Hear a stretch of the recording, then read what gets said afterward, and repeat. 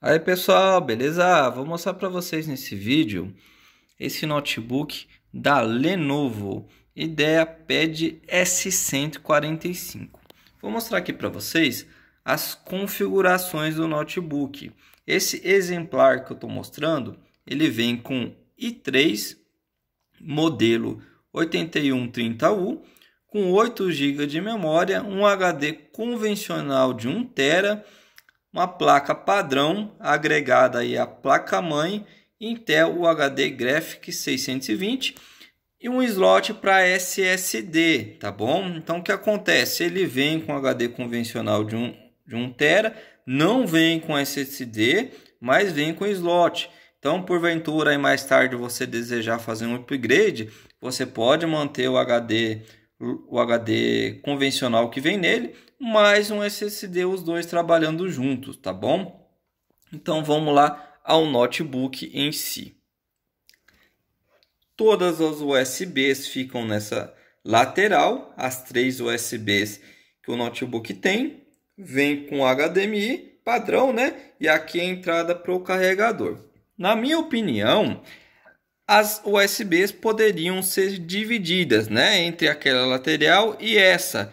Facilita muito na usabilidade. Às vezes você vai trabalhar com cabo, né? Então os cabos ficam melhor dimensionados com, esse, com essa opção, né? Quando é divididas as USBs nos lados do notebook. Tenho a entrada aqui do, do cartão de memória, né?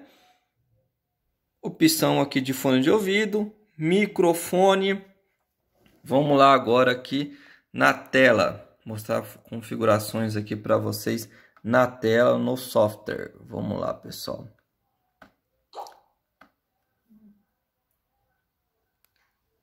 Como eu disse para vocês, é um i3 de 2.20 GHz. Veio instalado o Windows 10 Home Bom, pessoal, vou dar uma, uma outra uma outra informação aí para vocês. Melhor, uma opinião, tá? Você que está pensando em comprar um notebook desse aqui hoje, ele não está saindo barato, tá? Então recomendo você comprar um não com HD convencional igual veio com esse, mas comprar um já com SSD. Por quê? Porque o SSD traz uma melhora de desempenho muito grande, uma confiabilidade maior e uma rapidez muito maior também. Você pode consultar em vários fóruns aí vários artigos, várias opiniões de pessoas que entendem que o Windows 10 ele trabalha melhor com SSD. Ele fica um pouco agarrado com HD convencional por conta de algumas tecnologias, algumas coisas que vocês vão poder verificar melhor nesses artigos. Com o Windows 11, talvez melhore isso ou não, né? Talvez mantenham essa questão de trabalhar melhor com SSD. Mas independente disso, o SSD é muito melhor com HD convencional, tá bom? E muito mais seguro. Então, fica essa dica aí para vocês, pessoal. Quem está pensando em investir em notebook hoje, compre já com SSD. Nem que seja um SSD pequeno de 120 GB, tá? É pouco armazenamento, mas é melhor do que você comprar um HD convencional. Às vezes a pessoa só olha o tamanho, né? Um tera e tal. Mas não, pessoal, às vezes você não tem que ver só a capacidade, mas você tem que ver o desempenho que influencia muito, tá bom? E a segurança dos seus arquivos, que isso é muito importante. Uma observação aí que eu deixo para vocês também a questão do, do aquecimento. Esse notebook está ligado há mais de duas horas, o cliente já trouxe para mim ligado e eu não noto muito aquecimento aqui. Então achei que isso é um ponto positivo. Que geralmente os notebooks, quanto mais poder de processamento ele tem, quanto mais capacidade de memória, uh, processador mais, mais potente, ele apresenta um maior aquecimento. Esse aqui eu achei que não aquece tanto. Acredito eu que a Lenovo desenvolveu esse notebook com uma arquitetura bem planejada para evitar esse problema de aquecimento. Vamos lá, o carregador.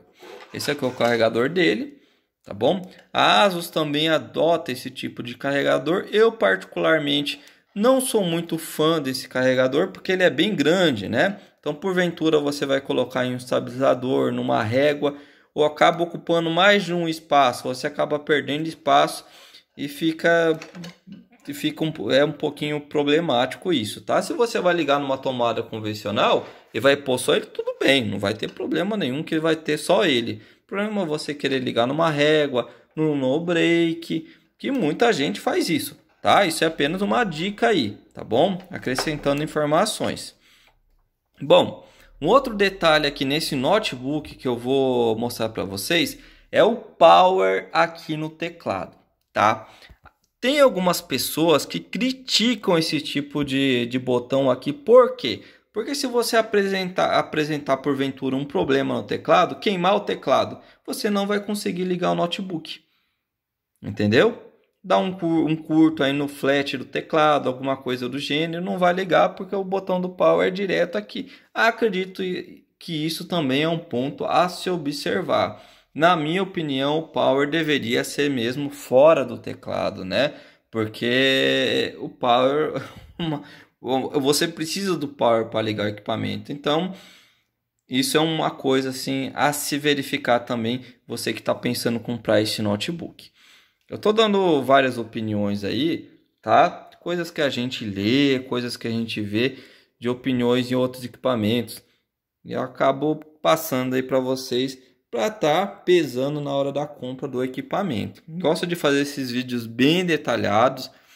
Acredito que é um diferencial mostrando todos os pontos e dando minha opinião particular.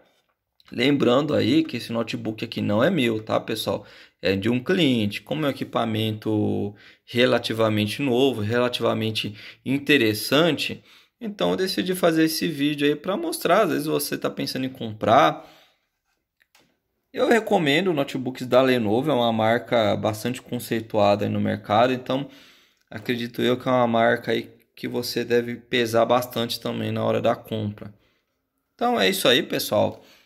Isso aqui é a, a parte aqui do das dobradiças, né?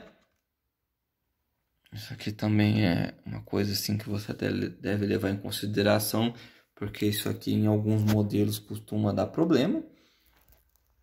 Então, me parece que é resistente. Então é isso aí, pessoal, que eu queria mostrar para vocês. Ideia Pad S145 da Lenovo. Abraço a todos, fica todo mundo com Deus.